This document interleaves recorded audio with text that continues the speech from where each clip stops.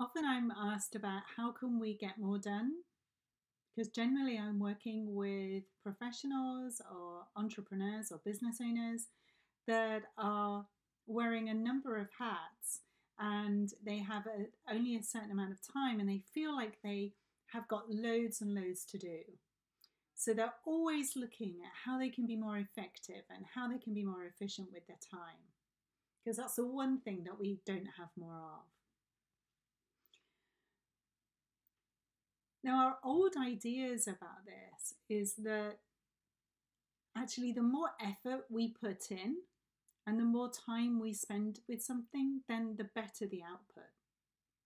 You know, so you know, the I, I remember when I was was a barrister and I was in practice and I, I mean I was one who would who would sit at their desk doing so much work, so much work. And and I would tell myself that if I finish this, if I just push through and get through it, I will feel better. And and you might um, that might resonate with you as well. That might be something that you do because that's what we do, isn't it? You know, we we think if we get something out of the way, we're going to feel better. Now, I recognized even at that time how tired I was and how how I'd lost my effectiveness. You know, the quality of the work I was doing was still good, but it was taking me so much longer.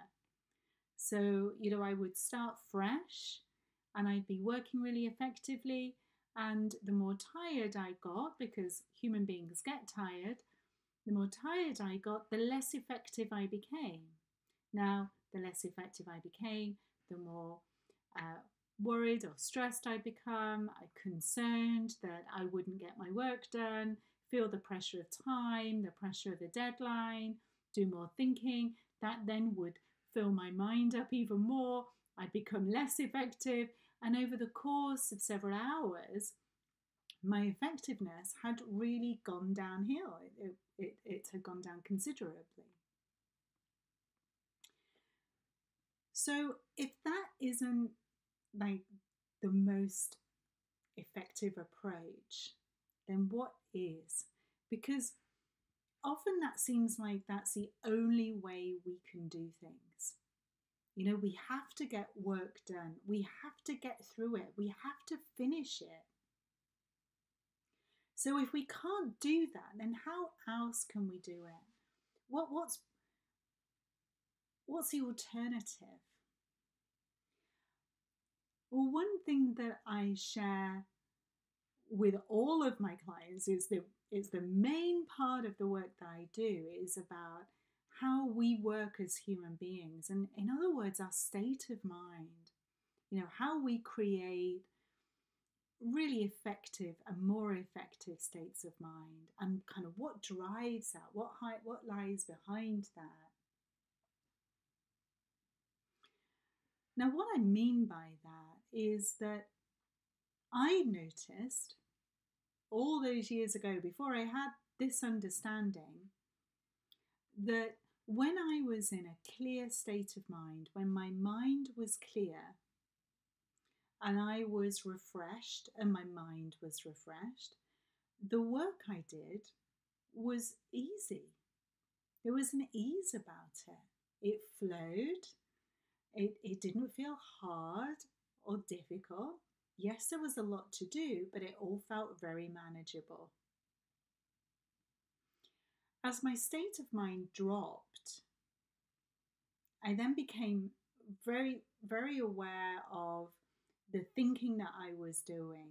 So, you know, I can look back now and know that my mind was full of, of pressure, of stress, of concern that I wasn't going to get my work done, I'd, I'd have thoughts about you know other people and their abilities. I'd be doing a bit of imposter th- syndrome thinking or maybe you know some comparative type thinking all kinds of that. My mind was full. And and my work became became harder. It felt harder to me. It felt more difficult less manageable. It was the same work the only thing that had changed, the only variable that ever changed was my state of mind. That was the only variable that had changed. The impact of knowing that now means that myself and those who I work with now have more information about how to work more effectively. So by recognizing that, oh, okay, I'm I'm doing lots of really unhelpful thinking right now. Um, it feels really feels really real. That's telling me about my state of mind. I'm now not effective. I'm now not effective. Noticing that enables us to, just the power of noticing it, enables that thinking to have less grip on us. It feels just slightly less intense, but that that space that it creates enables us to hear our common sense more.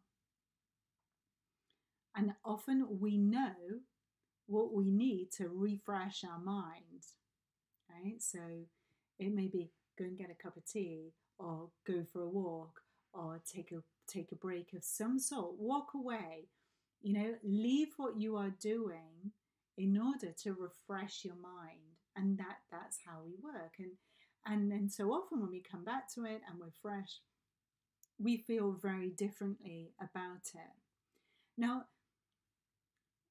you may think well yeah i knew that but how often do you listen to it and how often do you take that into account during your normal working day? So, noticing like when we become less effective, say, oh, this is a state of mind issue.